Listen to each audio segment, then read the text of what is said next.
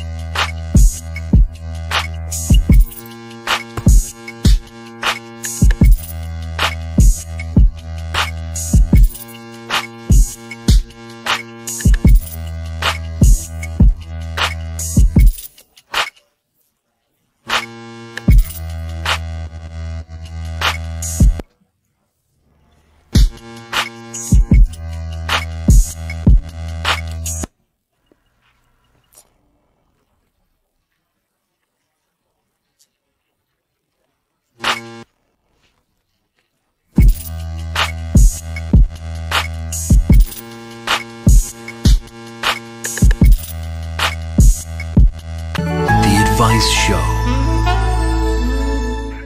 I mean, I mean, seriously, watching too much television. Like I used to watch, used to watch Nick at Nite a lot. Like when it first started, when every- everything they were playing was like from the '50s. I used to watch like Dobie Gillis and Donna Reed, like Really? like every day, like when I'm when I'm like 11, you Yeah. know. And it's like Why do you think you were you were so into that? I, I honestly think it just came down to um, options at that hour. You're just bored and there's nothing else to There's do. not like you know, and I just kind of always gravitated towards whatever was comedy, in, from whatever era. If it was comedy, I'd watch it. Boy, you couldn't have picked worse comedy.